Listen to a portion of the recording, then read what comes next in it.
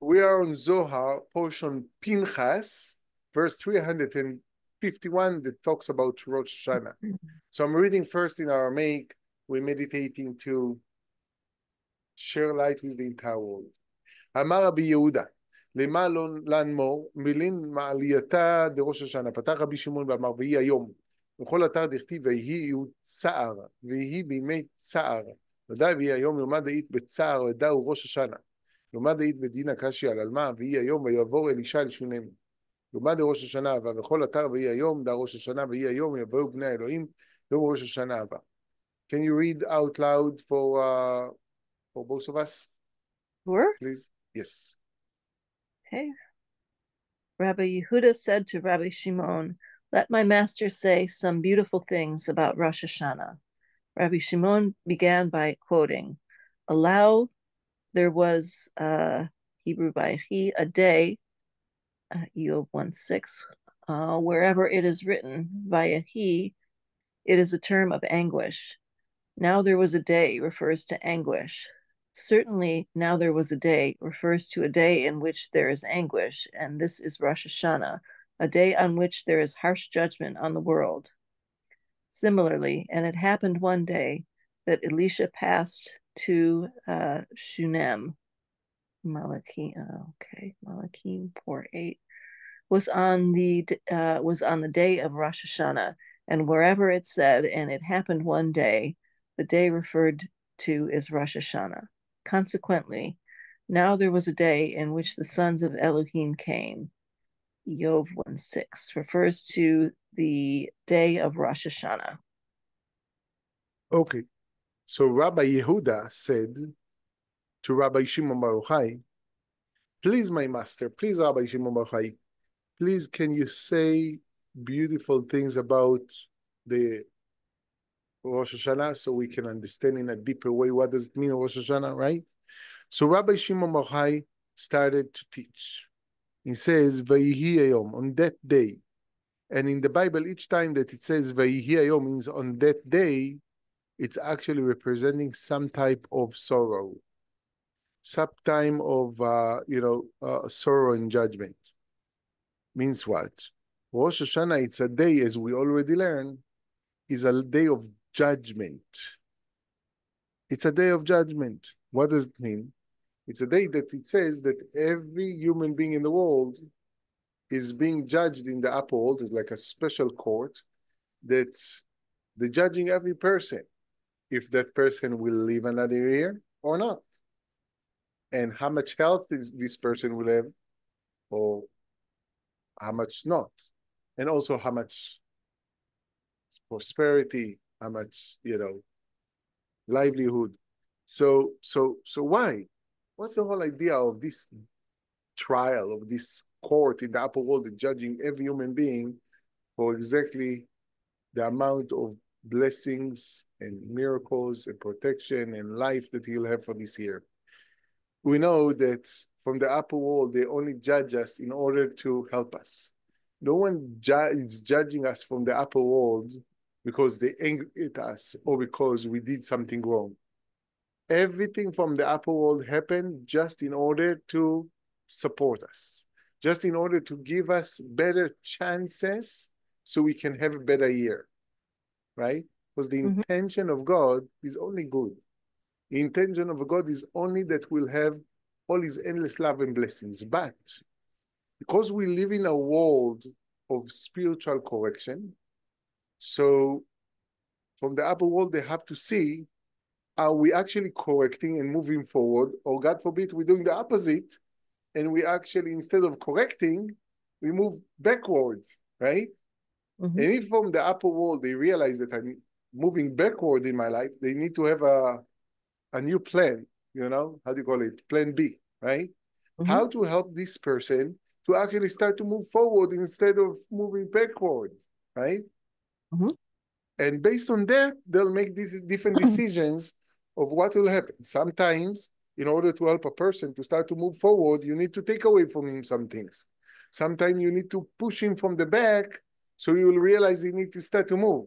And sometimes those things are not that convenient.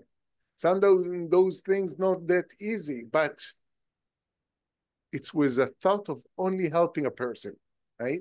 And that's why sometimes it can be sorrow, because if a person don't want to do the correction in their own free will, they have to get pushed by the universe to actually start to realize that they came here to this world to do the spiritual correction. And then sometimes it become not so pleasant. That's why it says on the Rosh Hashanah, it's a day that there's some sorrow, right? Mm-hmm.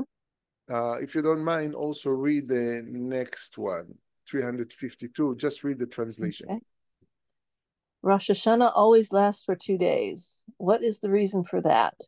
It is so that Isaac, who is left column, which is the aspect of Rosh Hashanah, should be composed of judgment and mercy, which are two days, and Isaac will not be just for one. Uh, uh, uh and I, sorry, and Isaac will be, will not be, ju- will be. Oh go, try that again. From the beginning, Rosh Hashanah always lasts for two days. What is the reason for this?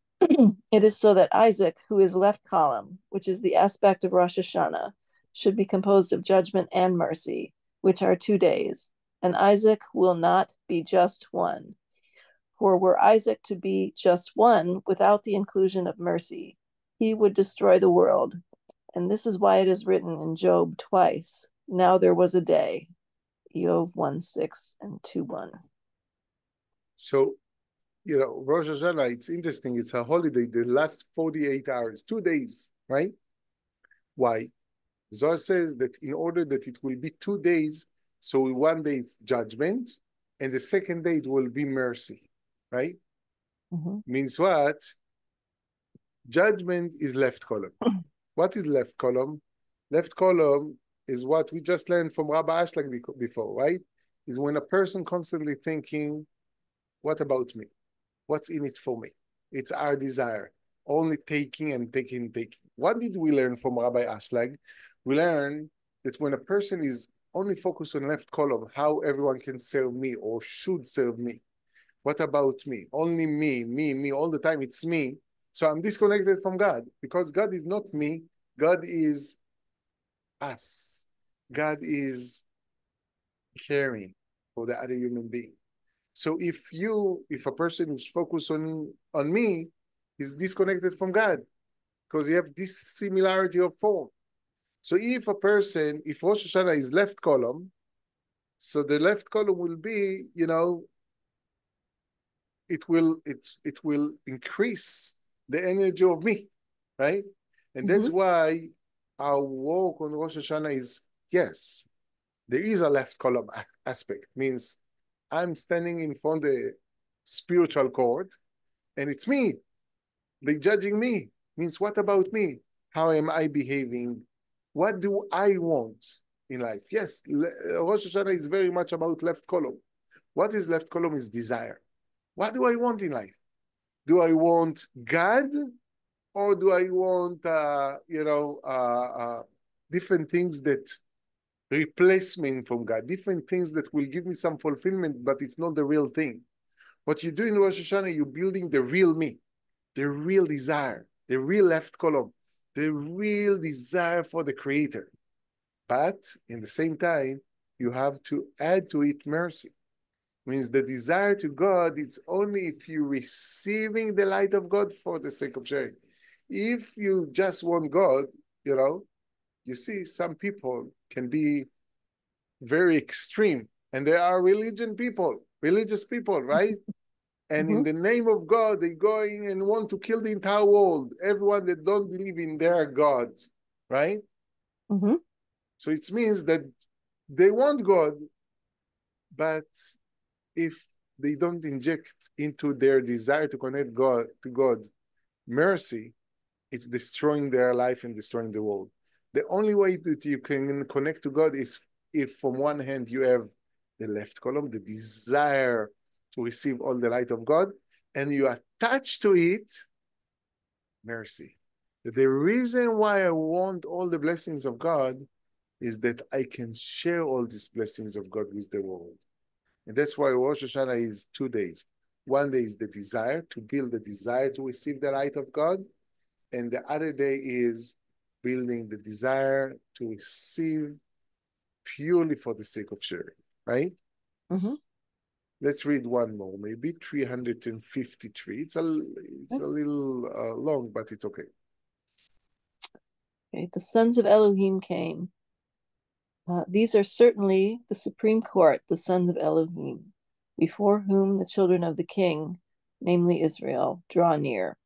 And they are the 70 office uh, uh, officials who are always who always surround the king, and they decree sentences on the world to present themselves before or upon Hashem. He asks, Do they stand upon Hashem? He answers, No. But when they stand to judge the world, the first to be judged is the one who does not honor the holy name and does not respect the Torah and his servants. So, too, whoever is not concerned about the honor of the holy name, which is the Shekinah, that it be not desecrated on earth, and whoever is not concerned over the honor of the Holy One, blessed be he, who is Zeir Anpin, he does not give honor to this name and the adversary came also amongst them. Also adds the female of the adversary, uh, Lily. and uh, so it is here.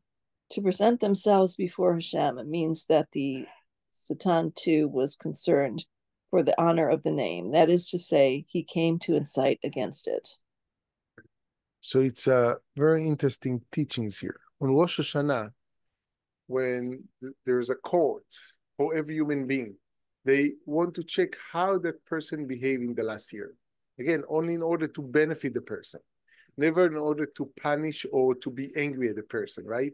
Only in order to help a person to be more directed, more focused properly on his spiritual correction in the right way, right?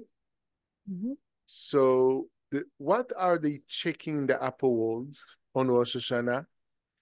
If it's interesting, it's a bit hard to translate it, but if a person actually honor the name of God, honor the Torah, and honor the servants of God, what does it mean exactly? It means, what is it that important for me in life? Usually, what important for us, the honor that we receive how people respect me. During the year, that's what we're mostly focusing on. Is the other person honoring me? Is the other person respecting me? How dare did how dare you talk to me like that, right? Who are you to talk to me like that? We all the time in a game of protecting our ego. You agree with me? Mm-hmm. And most of the fightings and most of the struggling can be in relationships what are the most uh, common kind of uh, argument in relationships is why didn't you give me respect? Why don't you listen to me? I'm talking now. Listen when I'm talking. It's all about ego that I want respect and you don't give me the respect that I uh, that that I deserve. That's most of the fightings in relationships, but also between nations. It's all the time the game of ego of I want my respect back. I want you to respect me. And if you don't respect me, I'll go to a war against you. Right? And the spiritual work that we came to do in this world is the opposite is to be willing to let go of my own respect and actually make sure that God will receive his respect. How many of us actually care about the respect of God? What does it mean, the respect of God? It means that people in the world will actually respect God. Not that God need respect. Not that in, in the upper world God says, they don't respect me. I really got offended. No, God is not in that game. God is not getting offended if we don't give him uh, honor. But if the people of the world don't honor God enough, they cannot receive from him all the endless life that he give give them because the things in life that you appreciate, if you appreciate something, you can enjoy from that thing. And mm-hmm. if you don't appreciate something, even that thing can be a great blessing, but you would not be able to enjoy because appreciation is like building a vessel where that joy can enter. When you learn, and appreciation is a lot of work to learn how to appreciate, how to see the good, how to respect, how to give respect. So in life, most of the game of life, all the time that we will get respect. We need to start to change the consciousness. We need to start to want, I want the people of the world to respect God, not to respect me, but to respect God. Not that God needs that, but that the people will be able to enjoy from the light of God. They would not, the world would not be able to really enjoy from the light of God if people of the world don't respect God. And what does it mean to respect God? It means that I put God as the first priority. In life, we have different priorities, right? So we have, I need this, I need that, I need that. And then in a certain other priority, I also need God. No, no, no, no. God need to be in the first priority.